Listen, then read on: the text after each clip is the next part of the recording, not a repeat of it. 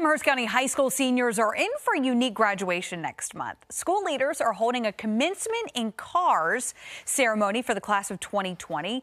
Here's how that works. Family and friends will listen to speeches from the class president and the valedictorian from the parking lot. The cars carrying seniors will then drive them to another parking lot where they will walk across the stage, receive their diploma, and take a picture but excellence. We want this to be a special memory, and we think that this is going to be a day that will be remembered in Amherst County history for a very, very, very long time.